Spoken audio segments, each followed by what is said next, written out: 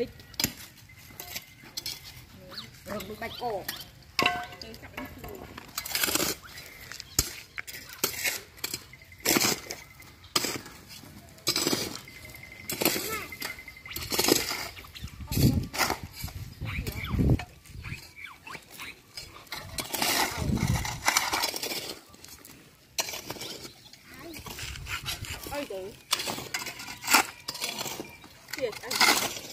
កោទៅចាប់នេះគឺអីទៅទៀតអីអានេះរិចពីដែរ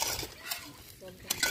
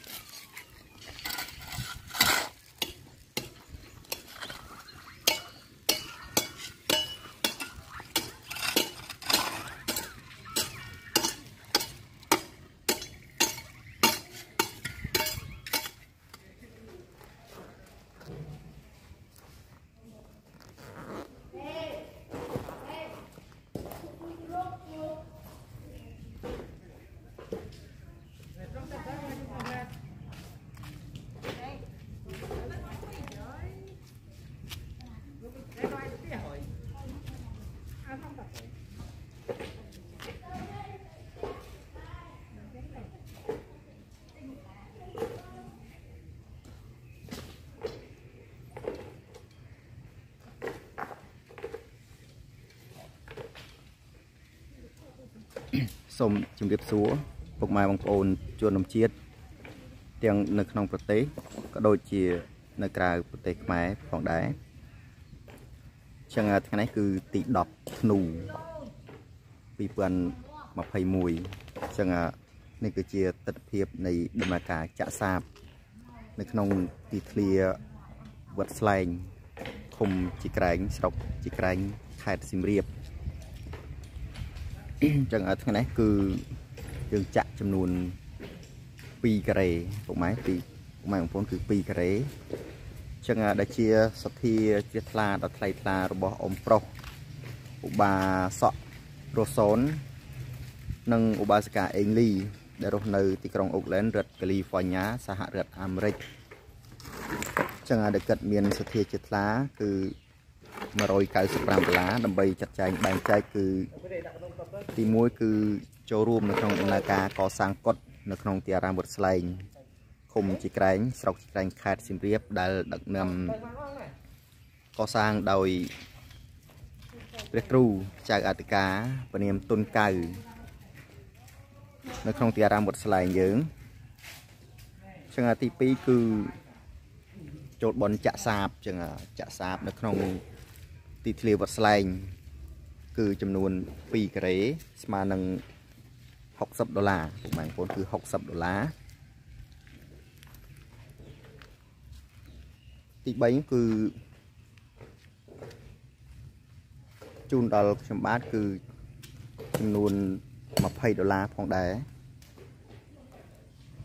ហើយជាបន្តទៀតគឺគាត់មានសទ្ធាជាថ្លា គឺជូនដល់កូនប្រុស របស់ខ្ញុំបាទគឺចំនួន15ដុល្លារអញ្ចឹង15ដុល្លារស្មើនឹង60000អញ្ចឹងថ្ងៃនេះគឺមកបន្តបងបងប្អូន គឺមកបន្តនៅអទស្សនភាពចាក់សាបនៅក្នុងទីអារាមវត្តស្លែងអញ្ចឹងកាលពីថ្ងៃមុនគឺ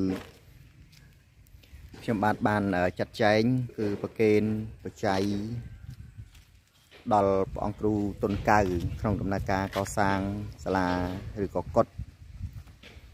ដែលមានកម្ពស់2ជាន់អញ្ចឹងចំនួន100ដុល្លារដែលជាសធាថ្លៃថ្លារបស់អ៊ំឧបាសករស់សូននិងឧបាសិកាអេងលីព្រមទាំងកូនចៅរស់នៅទីក្រុងអូកឡែនហើយនឹងផ្ដល់ជាលក្ខណៈមនុស្សធម៌ខ្មែរជួយខ្មែរដល់កូនប្រុសខ្ញុំបាទអញ្ចឹងថ្ងៃនេះគឺមកបន្តនៅឃ្លីប វីដេអូបន្តទៀតនៅក្នុងដំណើរការចាក់សាបពុកម៉ែបងប្អូនអញ្ចឹងដំណើរការចាក់សាបគឺយើងនៅតែចាក់ជារៀងរាល់ថ្ងៃនៅតែធ្វើនៅតែត្រូវការនៅតែខ្វះខាតពុកម៉ែបងប្អូនអញ្ចឹងខ្វះខាតគឺយើងចាក់កម្រងចាក់ហ្នឹងគឺចាក់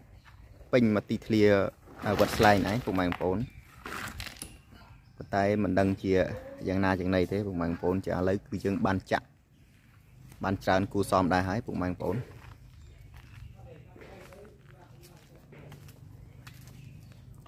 អញ្ចឹងអរគុណដល់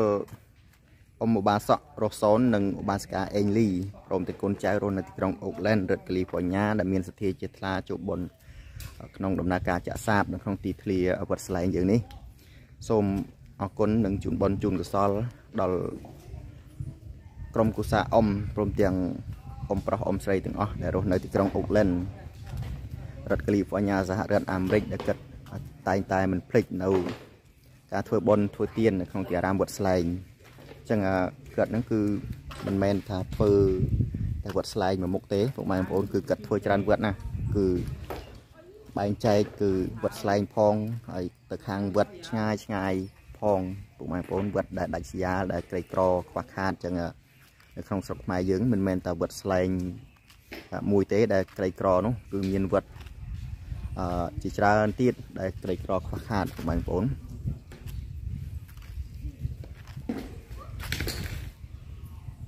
ចឹងឥឡូវគឺយើងមកបន្តនៅទស្សនវិជ្ជានៃការចាក់សាបចឹងចាក់សាបនេះគឺយើងកាប់ដីពុកម៉ែបងប្អូនយើងកាប់ដីបកដីចឹងបកដីអាលើលើហ្នឹងគឺបកចេញហើយដើម្បីដាក់ថ្មចូលគឺថ្មធំពុកម៉ែបងប្អូនចឹង យើងដាក់ថ្មធំហើយគឺយើងចាក់ជាសាច់បេតុងចឹងចាក់សាច់បេតុងគឺសម្រាប់វាចូលប្រហែលជា2ទឹកឬក៏3 2ទឹកឬក៏1ទឹកចឹងឃើញថាក្រាស់ល្អចឹងកុំឲ្យវាបាក់ស្រុតចឹងយើងចាក់តែម្ដងគឺឲ្យហើយចឹងកុំឲ្យចាក់ច្រើនដងពេកបងប្អូនចឹងថ្ងៃនេះព្រះអង្គសាមណេរនៅក្នុងទីអារាមវត្តស្លែងក៏ព្រះអង្គបាននិមន្តមកជួយក្រោយពីសិក្សារៀនសូត្រនៅក្នុង ទីអារាមវត្តច័ន្ទបុប្ផារាម នៅភូមិភ្នៀតមកគឺតំណេតំណេគឺព្រះអង្គមកជួយចាក់សាបបងប្អូនគឺមកជួយចាក់សាប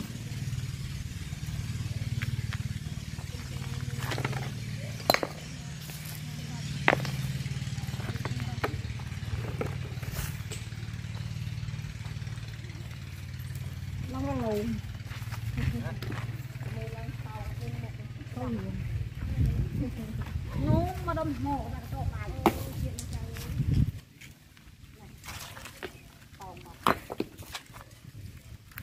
គ្រប់អត់ថ្ម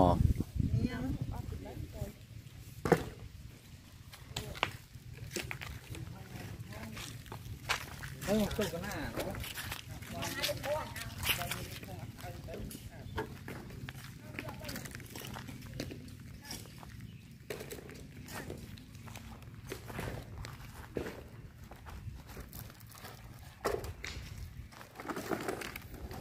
ចឹងក្នុងដំណើរការចាក់សាំគឺយើងចំណាយច្រើនពុកម៉ែបងប្អូនគឺចំណាយច្រើនមែនទែនគឺចំណាយទៅលើថ្ម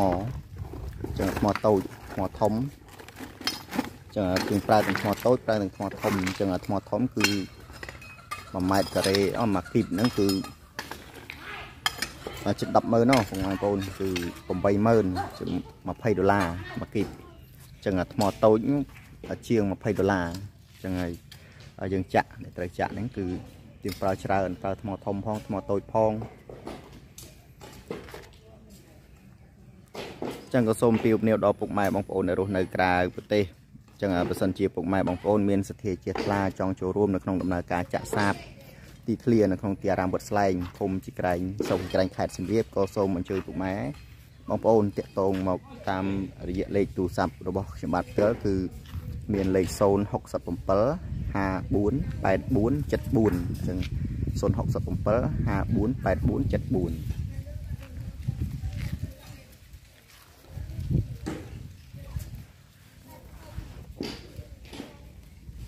ចឹងយើងនៅតែមិនភ្លេចនៅសេចក្តីថ្លែងអំណរអគុណដល់អ៊ំប្រុសរស់សូននិងអ៊ំស្រីអេងលីដែលរស់នៅទីក្រុងអូកឡែនរដ្ឋកាលីហ្វ័រញ៉ាសហរដ្ឋអាមេរិក ដែលកិត្តមានសទ្ធាជាថ្លាចូលរួមដំណើរការចាក់សាបទីធ្លាវត្តស្លែងឃុំជីក្រែងស្រុកជីក្រែងខេត្តសៀមរាបចឹងសូមសត្វពរជ័យស្រីសុស្ដីកើតមានដល់ក្រុមគ្រួសារអ៊ំប្រុសសូមសំប្រកបជួបតែនឹងពុទ្ធពោទាំង3ប្រការគឺអាយុវណ្ណៈ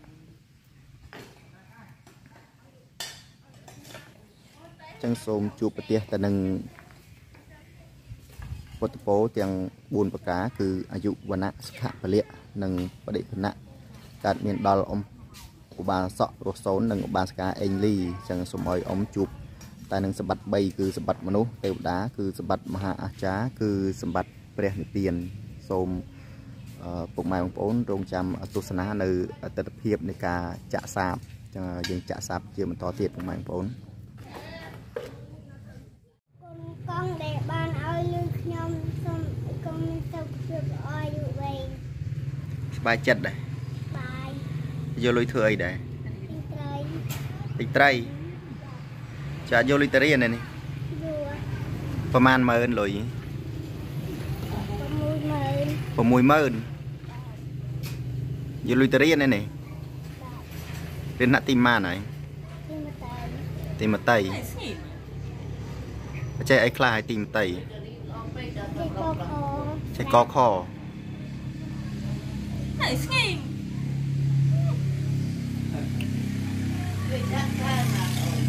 មានសភៅឲ្យនៅទៅរៀននៅឈិតអស់ស្លាប់ជិតអស់ស្លឹកហ៎បានអូបានលុយទិញសភៅមុំមើលមើលកបោបបន្តិចមើលកបោបអីខ្លះមើលស្អីខ្លះនេះ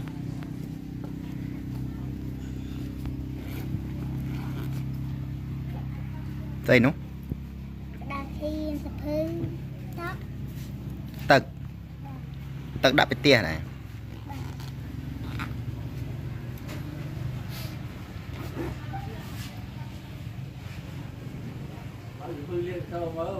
តោះទៅរៀនចា